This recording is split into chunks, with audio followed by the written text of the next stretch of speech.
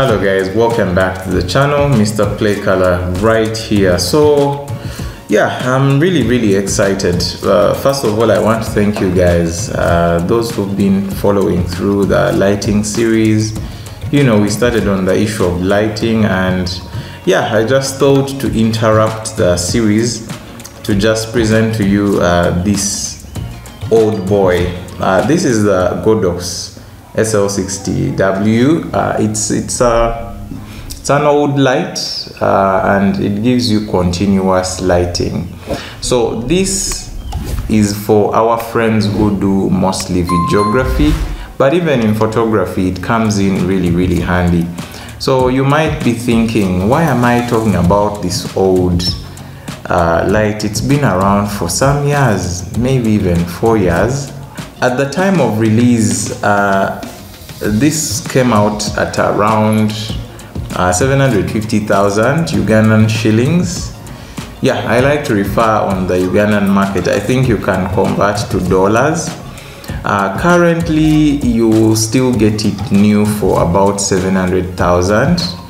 That's maybe about 180 dollars. Uh, yeah, USD. Yeah, the SL60 comes with a number of features, but I would like to uh, to talk about how bright this light is. Now, this is interesting. When you compare this light with uh, this, this is an LED light. These are the traditional LED lights uh, that we've been using for, you know, a long time. Now, this one here uses a, it's called a chip on board, yeah? If I just open it here for you guys you can see. So this chip is what casts the light here. Uh, these help to um, keep the keep it a bit cool. I don't know what these are called exactly. I've lost the name. But yeah so these really really help uh, to keep it cool. Yeah so guys this light will produce 4100 lux I think that's how they measure the intensity of light. Uh, 4100 lux uh, at one meter. Yeah, I mean one meter of. Uh, if you're far away, you're not going to enjoy the benefits of this light, but at a distance of one meter, you get that capacity when it's at full brightness. So this is a pretty amazing light this SL60W has a CRI of 93%. Uh, CRI basically means color rendering index, like the accuracy of color.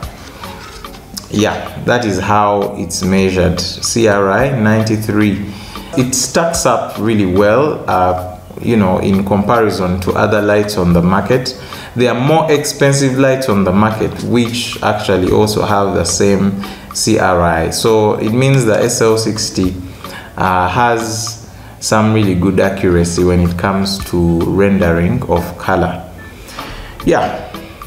So guys, this light doesn't use any batteries. You just have to power it directly uh, into your wall and uh, yeah, put on the socket and all.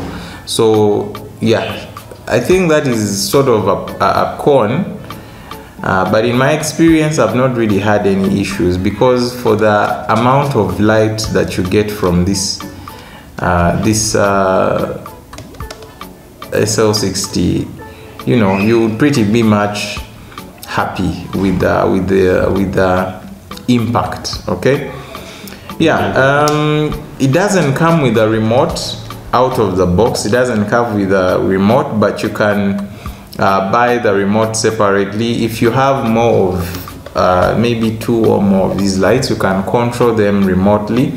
Also, the other thing, this light does not uh, dim down all the way to zero. If you need to dial it, it starts on 10% and it goes all the way to 100 yeah so that's something that you will notice sometimes you might want to dim if you're in a situation of dimming all the way to zero it's not going to do that.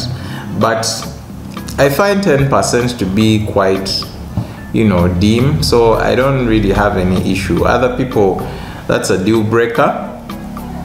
Uh, yeah. So this is a pretty uh, durable light. Uh, it has plastic. The build quality is not uh, like over the moon but it's solid enough because this has for me it's be it worked for about three years now. And it's still working just fine. I've not had any issues of breaking though i know there's better builds out there. Uh, and later in this video i'll be talking about maybe other options that you can consider. Yeah but this for me uh, has done the job. And by the way even if you're a photographer and you're not only into video this this can give you some constant light. If you're doing maybe photos of babies you know babies do not do well with flashes and you know strobes and all that. So you might want to invest in constant light. And this is uh, this is one of those lights that will give you something good uh, I think in one of the lighting series I'll show you uh, I'll do for you a video on how I actually use this to take photos.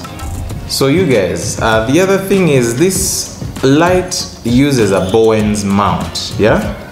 And uh, the advantage of that is that you can use a number of modifiers. Um, so straight out of the box you come with this modifier right here okay?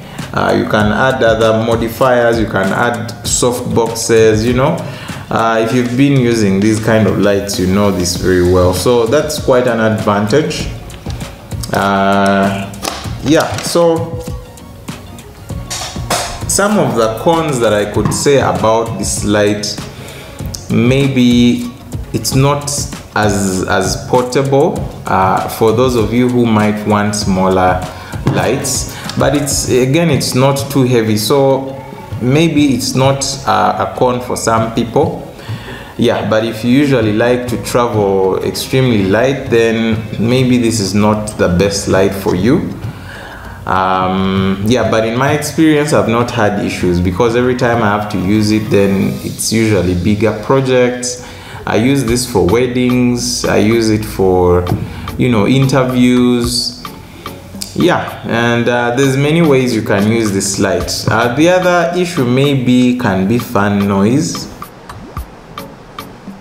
Yeah because uh, it has a fan inside and maybe because it's a bit of old technology.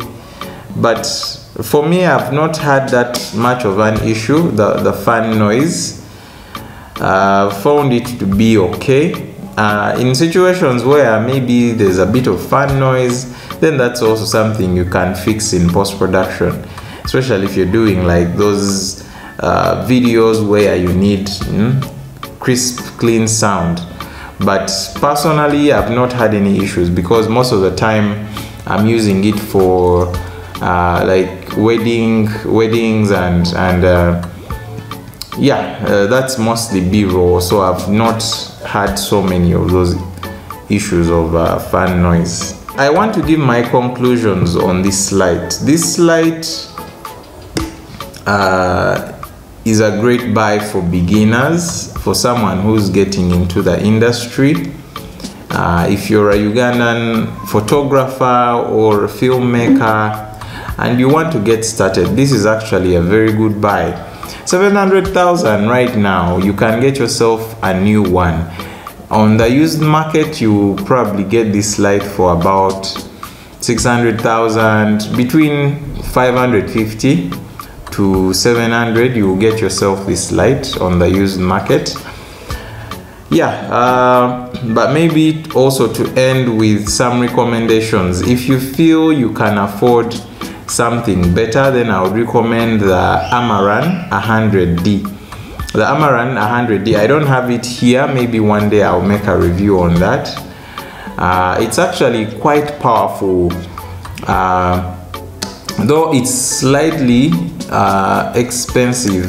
Uh, it's slightly higher than this. So the amaran 100d is going to cost you for under 1 million shillings here on the ugandan market. So it can actually be a good buy the difference is about 300,000 or maybe 250,000 that's the difference. So you can decide whether you want to get yourself the sl60 uh, or the amaran 100d the amaran 100d has some really good advantages. It's a lot brighter than this. Yeah for that price point of uh, under 1 million Ugandan shillings anyway i just want to end this video right here. If you have any questions uh, please let me know. Yeah otherwise thank you for watching. I'll be seeing you in the next video. Bye